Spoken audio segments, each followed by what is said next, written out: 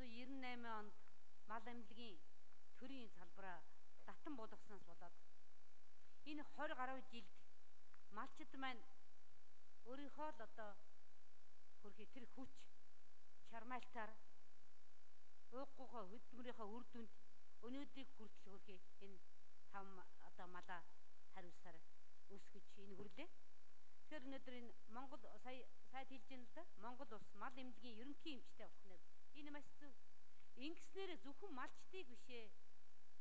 Монголч Монголын төр иргэдээ эрүүл хүнсээр хангах нь нэн тэргүүний үүрэг. Тэгэхээр малаа эрүүлж юуснаар нэгдүгээрт иргэд маань эрүүл хүнсээр хангаадах бүрэн боломж үрдэх нь. Хоёрдугаарт Монгол улсын хүн амын 3-ны 1 буюу 1 сая иргэд нь тэр малчны хотонд үйлдвэрлэж байгаа бараа бүтээгдэхүүний үнийн өсөлт бууралтаас хамаарч ам амжиргаа амжиргаа нь тэндээс шалтгаалж байгаа. Тэгэхээр зэрэг энэ бол маш зөв зүйтэй тэр ёстой түүхэн э, шийдвэр гаргаж яана гэж сайдын хэлж байгаатай бас санал нэг байна. За тэгээд манай малын малчд малын бүтээгдэхүүн бол монголчууд юм монголчуудын маань хизээнээс удамдагдж ирсэн хийж чаддаг ганц аж ахуй. Энэ бол нөхөн сэргээгддэг, төлждөг тийм баялаг. Тэгэхээр Монгол улсынхаа эдийн засгийг сэргээхэд өнөөдөр манай бэлчээрийн мал аж ахуй маань үнэхээр юу юунаас чухал хэрэгтэй энэ төрөөс энийг бүх талаар дэмжих ёстой. За малаа эрүүлжүүлэхийн тулд төр ингээд мад эмнэлгийн салбараас сэргээгээд гаргаад ирлээ. Цаашид цаашид сайда энэ малчтаа залгамж халаагийн бэлтгэхийн тулд анхаармаар байна.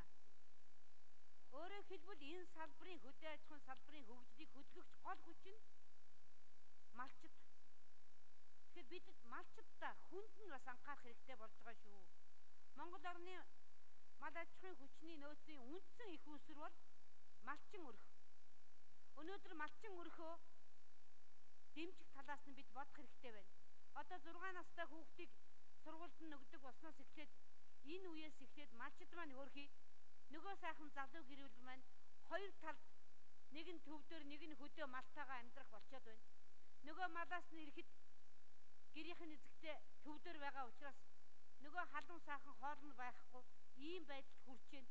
Энэ талаар тодорхой анхаарч энэ төвдөр байгаа тэр 24 цагийн цэцэрлэг шиг тэр дотор байрыг догтой тэр дотор байрын менежментийг сайн явуулах талаас нь анхаарахгүй бол хөрхийн малчин өрх маань өнөөдөр бас хүнд байдалд байгаа шүү гэдгийг хэлмээр байна. Өнөөдөр малчт маань манай хөдөө аж ахуйн чиглэлийн судлаач хэлсэн байсан л да. Яг дуршлагтай малчт нь бол нийт малчтын маань 10% л болчиход байна шүү гэж. Үнэхээр малчт маань бүгдээрээ цаашид гот руу орж ирээд бүгдээрээ энэ парта байсан суухаар болоод ингэчих юм бол хөдөө энэ бэлчээрийн мал ахуй маань ямар хэмжээнд очих вүлээ.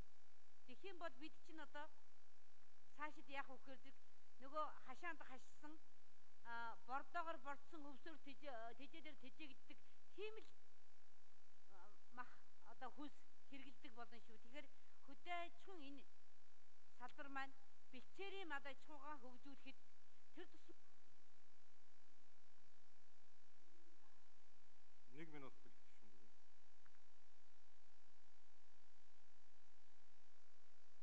Хөд малчны хотонд маань үйлдвэрлэгдэж байгаа тэр бэлчээрийн малын бүтээгдэхүүнийг одоо монголчууд маань хэлдэг штэ. Малын одоо зөвхөн амьсгаанаас бусд нь хэрэгцээтэй байд юм а гэж.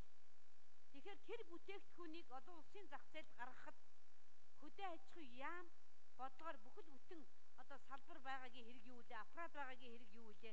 Энийг бодлогоор дэмжиж ажилламаар байна. Тэгэхээр энэ талаар та бас тодорхой хариултуудыг өгнө үү гэдгийг хэлмээр байна. Нөгөө тэгвэр энэ хөдөө аж ахуйн чиглэлийн одоо вакцин үйлдвэрлэдэг техник хөдөө салбаруудыг яам бодлогоороо нэгдсэн бодлогоор барих хэрэгтэй гэдгийг бас хэлмээр байна. Өнөөдөр одоо ямар болсон байгаа вэ? Нөгөө зоотехник байхгүй, малын эмчинд байхгүй, хүрэлцгээ болчихсон. Одоо эднэр яг нөгөө хэдэн байгаа дандаа нас нь бас нэлээ явчихсан байгаа. Тэгэхээр эднээсээ өвөл За бэлэгч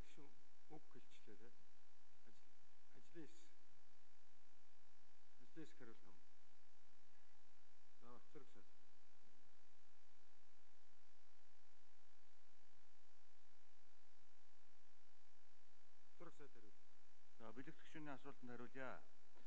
Бэлэгдэхшүүнтэй санал нэг байгамаа. Бид нар энэ хуулийг гаргахдаа мэдээж одоо энэ 3 сая иргэнийхэн хүнсний аюулгүй байдал эрүүл мэндийг бол бодож гаргасан.